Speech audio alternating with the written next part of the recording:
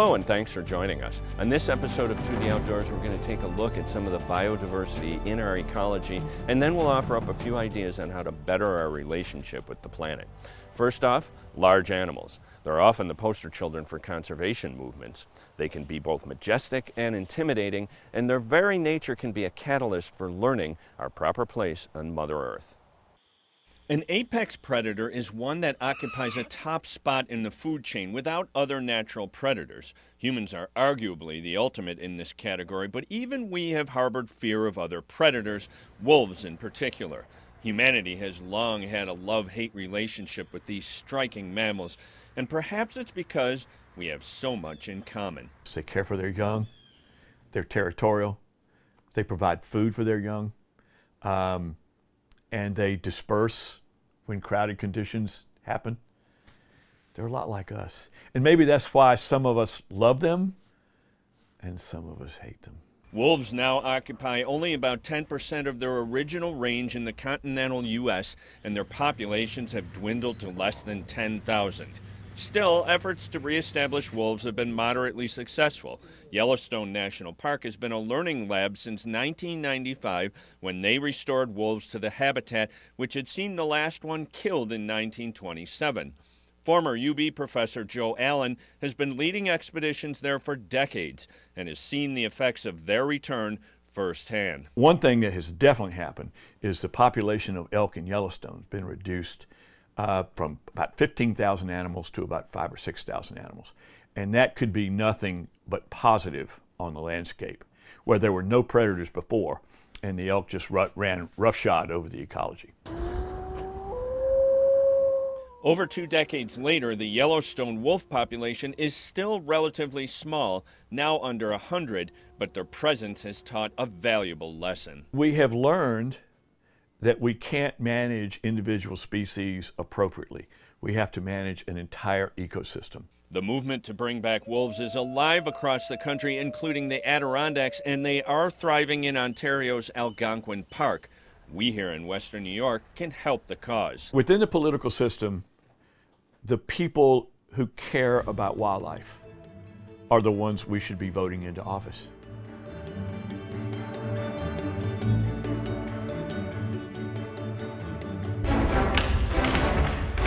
Whenever there's a clash between ecology and economy, it's usually ecology that loses out.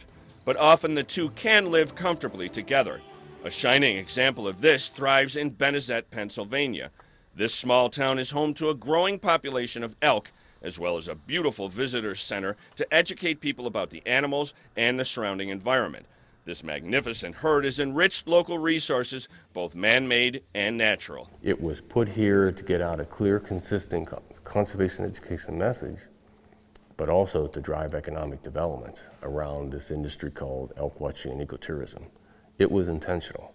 People were already coming to view this animal and to, to be in this 2 million acres of public land, but they really had no destination, had no place to go. The history of elk in North America has not always been a good one.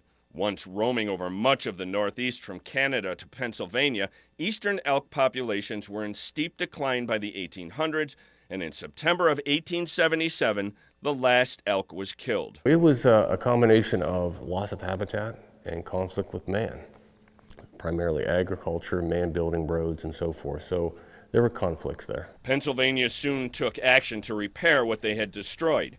In 1913, Rocky Mountain elk were reintroduced to the state, imported from Yellowstone out west, where they had an overpopulation problem. The 50 elk purchased cost about $30 each. The elk we have today, the offspring of those reintroductions, we have not had an introduction since the, the, uh, the only one, 1913 through 26. Since the reintroduction, the population has waxed and waned, again reaching low points in the 1950s and the 70s. Browsing damage to local farms caused the elk to be looked at as a nuisance animal, and they were allowed to be culled if considered such. Public sentiment was not on the side of the elk, but that eventually changed, and when it did, that made all the difference. This herd can survive here if man wants that to happen. So you start to address conflicts and you start to change minds and you start to erect fences and, and create forage plots and do research and talk to the public. And, and the population responded and responded and continued to respond, and it does to this day. Now the herd is a valued part of the community. Although hunting is still permitted, the area surrounding Benezette is a sanctuary where no hunting is allowed, an area where these majestic mammals can live their lives in peace while also enhancing those of their human benefactors and the local economy. This is a much better place than it was 30, 35 years ago. People are supporting our facility, they're supporting the local businesses. One feeds the other. It works out extremely well.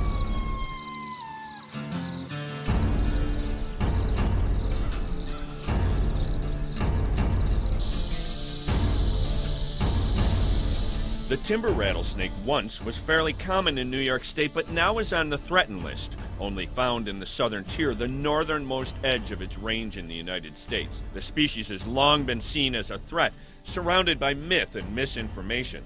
Fortunately for both man and snake, research has shed much light on this misunderstood reptile. The New York DEC has been conducting studies since 2012. They've used surgically implanted transmitters to track the snakes. In total, I think we've transmitted 10 individuals over the past um, five, six years.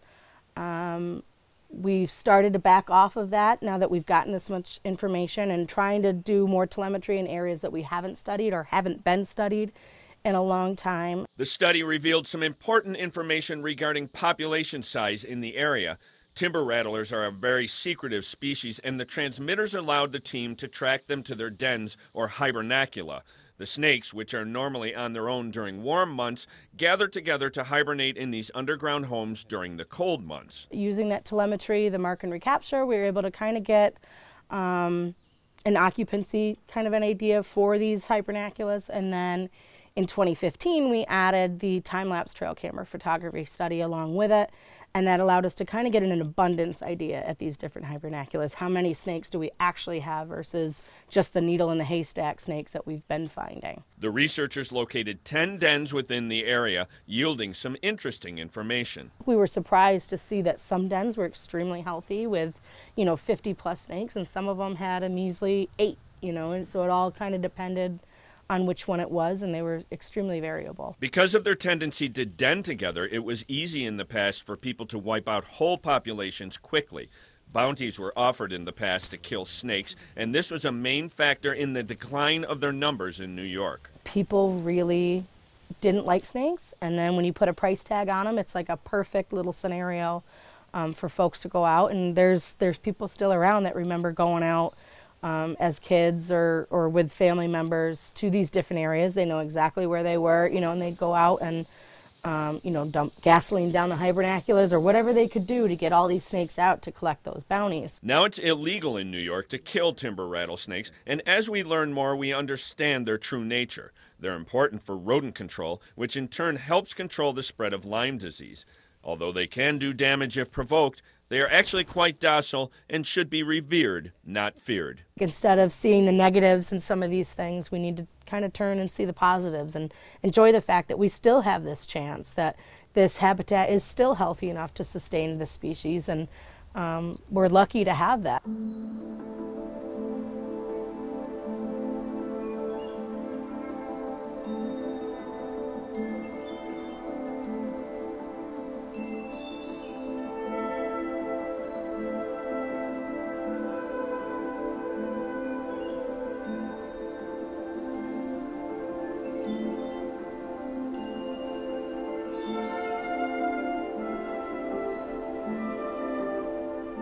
Though large animals are amazing, it would be folly to ignore the importance of the small creatures of the earth.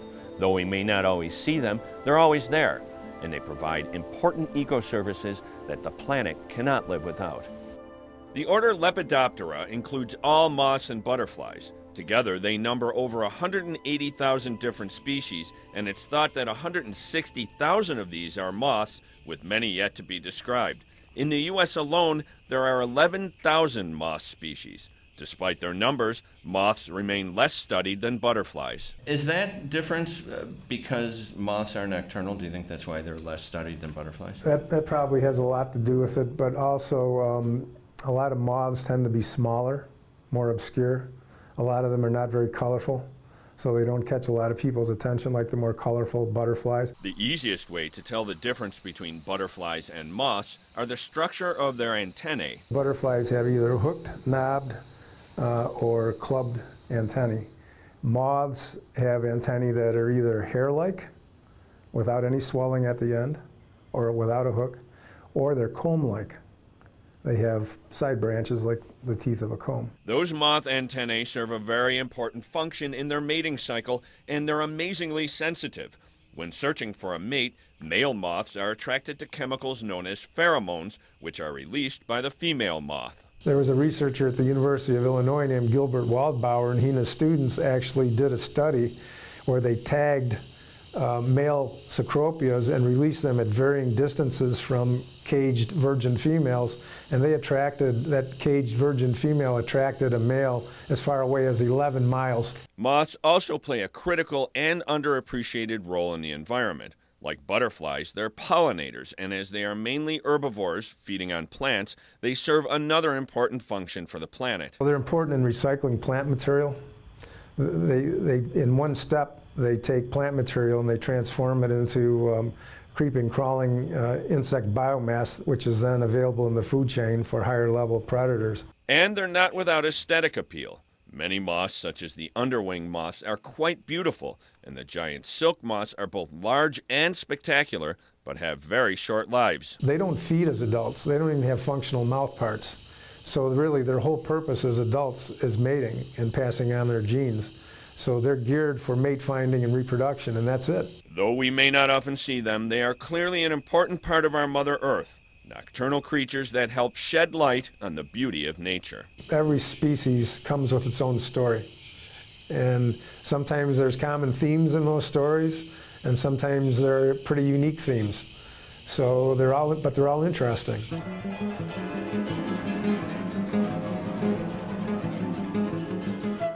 Cicadas may be the insect most evocative of summer. Their singing fills the dog days of the season, but they're usually heard and not seen.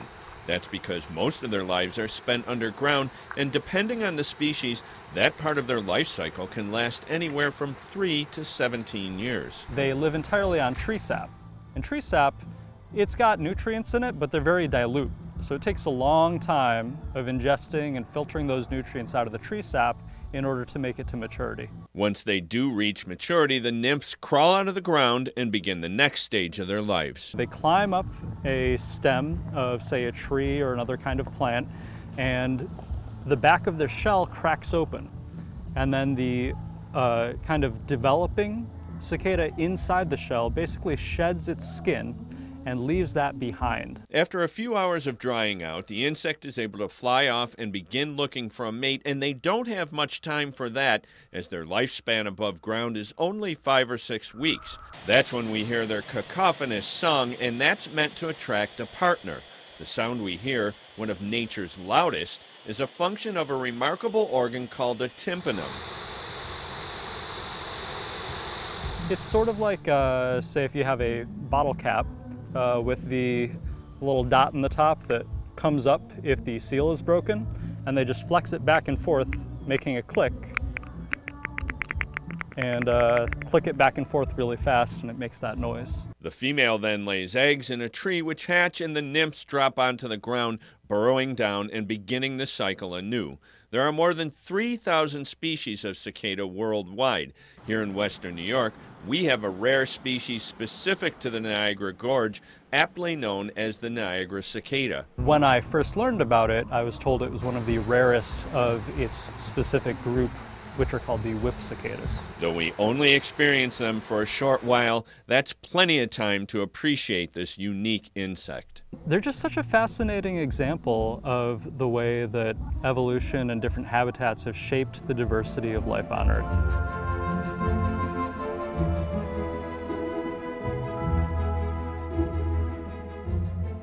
Sometimes the smallest of habitats can support an abundance of thriving life. Vernal pools are a spring phenomenon essential to many species, including salamanders. The pools are brought to life each year by winter's thawing snow and spring's renewing rain. The definition of a vernal pool is, uh, you know, an ephemeral um, water pool. The vernal pools, uh, many of them will dry up um, at the end of July or August.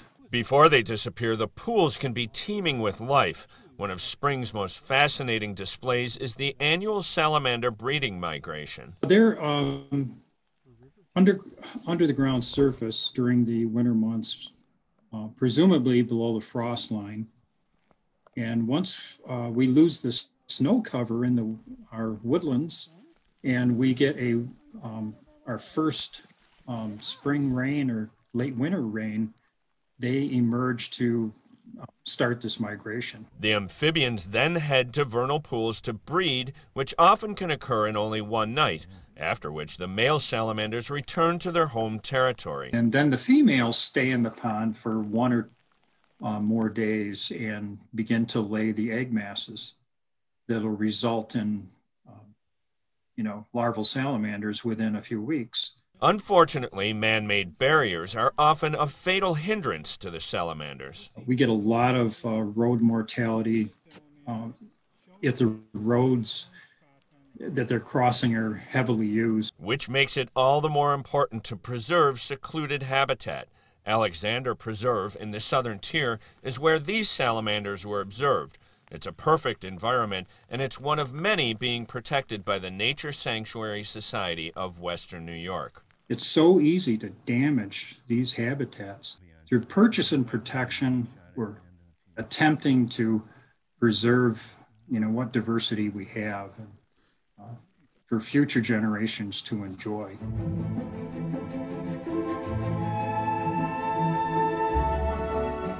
Few animals are more feared and misunderstood than bats, and they've suffered greatly at the hands of man. But their reputation could not be further from the truth. They pose no threat and, to the contrary, play an important role in our environment.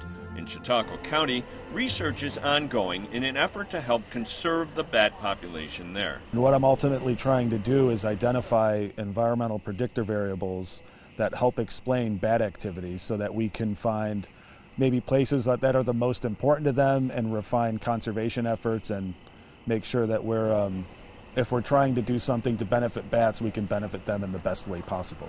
Some species are being decimated by white nose syndrome, a fungal disease that was carried here from Europe in 2007. It is now spread across the country and has been found as far away as Washington state. One of our most common bats in New York the little brown bat has suffered declines from 90 to 99 percent. White nose syndrome has been termed one of the most catastrophic declines of wildlife in modern history, so something up there with the passenger pigeon and the bison. Um, so this is a really serious population crash that's happened. In the last decade, it's estimated that globally bats have declined by a third to half of the total population. Their loss will also be ours, as bats contribute much in ecosystem services. Just in Chautauqua County, bats are providing almost $10 million a year just to Chautauqua County.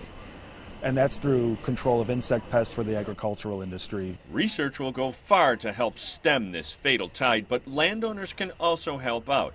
Erecting bat houses like these can provide a safe haven. The colony here has lived on the land since the Civil War. We can protect where they hibernate and we can protect where they rear their pups. And we have active maternity colony here where every year these females are rearing pups at this same place.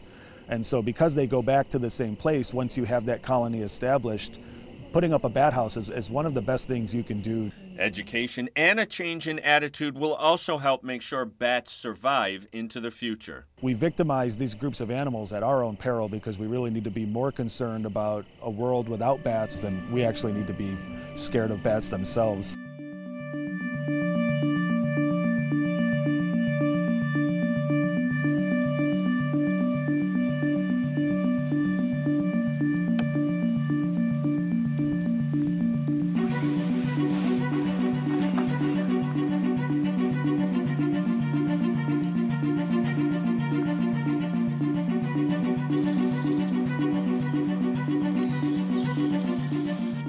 Must also try to be aware of humanity's place in the grand scheme of life on Earth.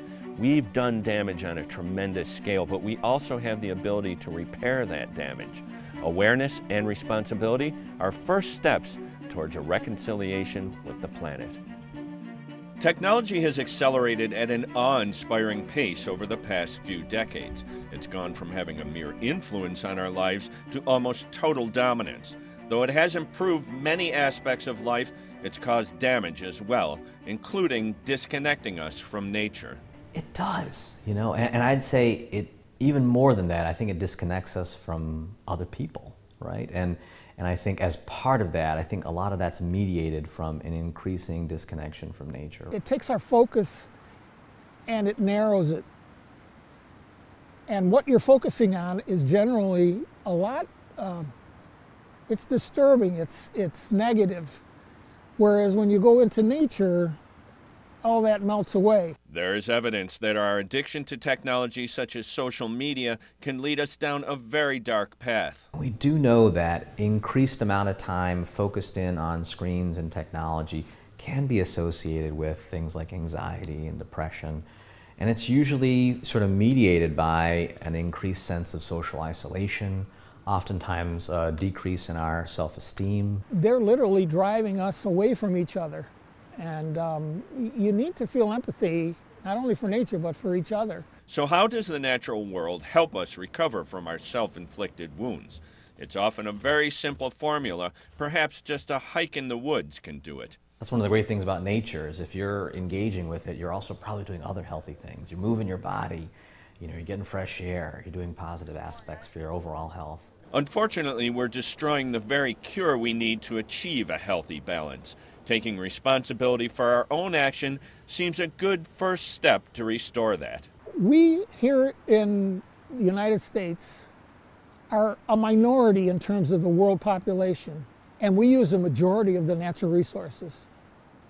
Every little thing that you do is actually a bigger impact than in many other places of the world. We need to lead. Finding that balance is something we need to do now for the sake of generations still to come. I'm a big believer in getting out into the world and seeing the world for what it is. It's, it's our home, it's beauty, it's our salvation.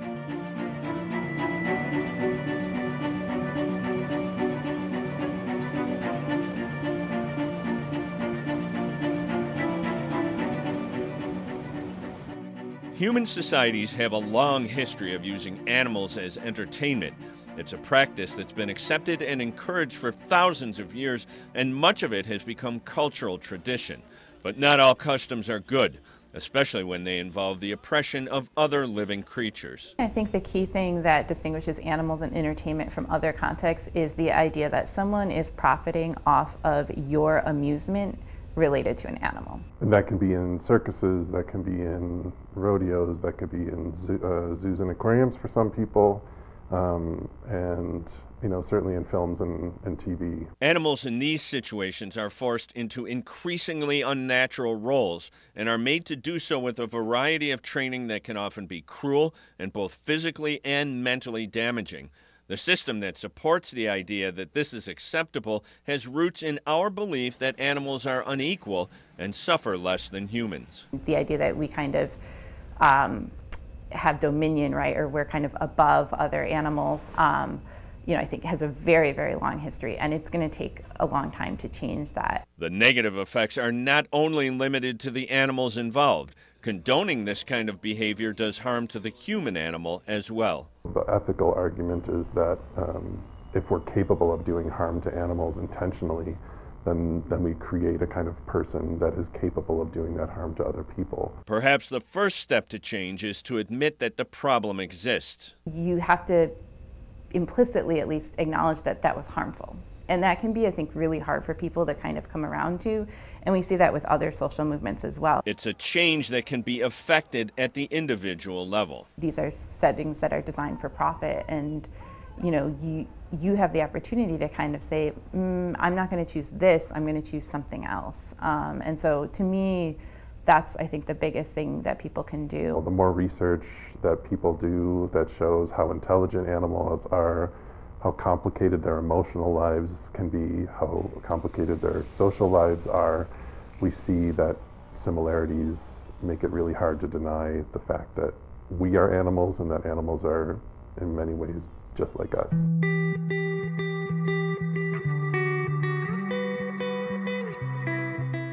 Worldwide, smoking causes over 7 million deaths a year, but cigarettes do damage to the environment as well. Among other things, growing tobacco contributes to deforestation as land is cleared for crops, and it's estimated that the tobacco industry cuts down over 600 million trees a year. Another seemingly small offense is actually a huge source of pollution. Discarded cigarette butts are the most littered items on Earth. 4.5 trillion cigarette butts are purchased, cigarettes are purchased a year, and two thirds of those ends up on the ground. The problem is not only the toxic chemicals that leach from the tobacco itself, but the filters on the cigarettes as well. They're made of cellulose, cellulose acetate, which looks very much like cotton cotton fibers, so people think they just go away, but they don't. They're made of plastic and they're with us for decades. Pollution doesn't have to be littered directly into the water to impact it. When it rains, anything that's upland on parking lots, on roadways, will run off to the low point, which is our waterways. It's a problem that has galvanized many to action. In the village of Hamburg, a group of six senior citizens formed a group called the Butt Kickers. They take a three pronged approach to tackling the problem in their community. First is awareness. Let's educate ourselves. The second is to assess if we have enough ash receptacles for the butt and three, let's do some cleanup activities. The Butt Kickers are part of a larger collaboration across western New York. The Buffalo Niagara Waterkeepers are also instrumental in fighting this scourge. We collaborate with a ton of different environmental groups, and we're also getting you know, schools involved in cleanups and businesses involved in cleanups and volunteer efforts. It's something that can be affected on an individual level each and every day. All it takes is to pick them up and toss them in the trash. Especially when uh, they first came out, it was the culture just to stump it out on the ground or to like flick it because it was like super cool. Uh, so I don't think they realize how much of an impact that the one cigarette butt can have. We can tackle it together. We just need to keep spreading the word and keep getting more and more people involved. Hopefully, you'll be inspired by these stories. Though caring for our Mother Earth can often seem like a daunting task, if we each take responsibility for what we do to the environment, collectively, we can make a huge difference. Until next time, taking you to the outdoors, I'm Terry Belke.